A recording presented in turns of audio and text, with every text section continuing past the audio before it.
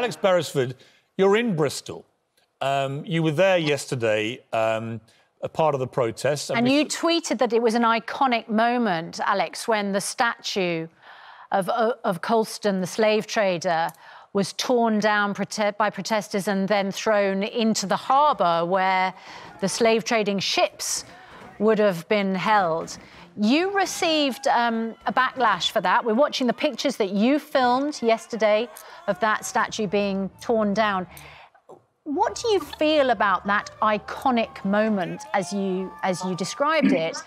and about your experience growing up in Bristol in the shadow of Colston's legacy. I mean, Bristol has benefited from the money that he earned trading West African slaves.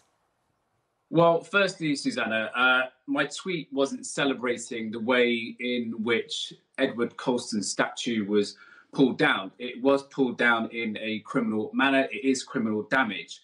Um, but when you look at the meaning of iconic in the dictionary, an image, an emblem, idol, or hero, iconic often describes something else like spirituality, virtue, or evil and corruption.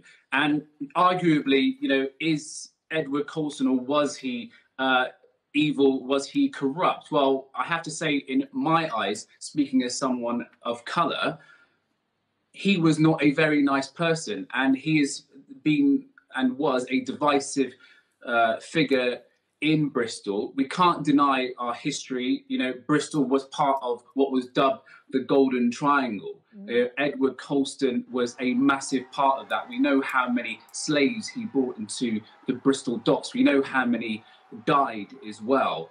Uh, and it was, for me, I guess, an iconic moment watching the statue being pulled down and then dragged through the streets of Bristol, rather significantly, not just to the water, but all the way down to Pero's Bridge. Now, if you live in Bristol, you may know a bit about Pero's Bridge, but Pero's Bridge is actually named after a slave, Pero Jones, who was bought at the age of 12 uh, by slave master John Pinney.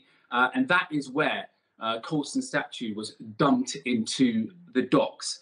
Uh, for me, it was, I guess, an iconic moment I feel it could have been brought down in a different way. We know that there were protests, but let's look at the you know the city of Bristol. Uh, Edward Colston uh, is celebrated not just by that statue. We also have the Colston Hall, which a lot of people in the black community will not attend because of the links to the slave trade. We also have, as you all know, Susanna, you studied here in Bristol, White Ladies Road and Black Boy Hill. So we have a rich slave history we shouldn't hide it. Alex, you know, honestly, Alex, I remember going to to events in, in both those places, living in that. Do you know what? Even as you said that, my skin crawled. There is White Ladies Road and Black Boy Hill in the city. Yeah. And, and those yeah, yeah. names still exist. Absolutely chilling, Definitely. actually. And, and, and it was, and, it, and I had to, I had to tussle with myself, you know, over the last few days. Do I attend the protest or not? My mum is one of the vulnerable people, uh, you know, who has been indoors three weeks before the lockdown. Uh, and I've been delivering medication and food. I won't be going to my mum's house out of respect for the next week or so until I know that I'm fully okay.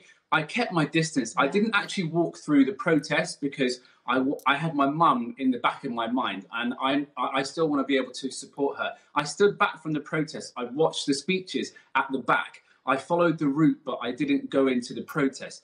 Ultimately, I got pulled into it when the statue um, was being dragged and scraped through the streets of Bristol. That was a, the journalist in me following the story. I did have a mask on and I was wearing gloves, and I tried to be as careful as I could. And I understand why so many didn't attend the march yesterday. But if you didn't attend the march, it doesn't mean that you're not part of the solution. Do not feel bad.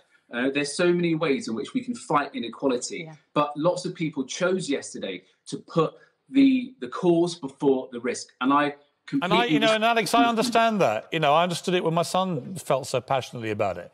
And I don't, I don't mind people calling me a blazing hypocrite. I've tried, I, I wouldn't go on the protest for that reason. Mm. I don't want to be seen to mm. be hypocritical here. Mm. And I do think they should be observing social distancing. Uh, but I did think that the way Dominic Cummings and that story played out sent a message yeah. to the people of his country. The rules are one thing if yeah. you're in government and one if you're not. And he was supported by all the cabinet.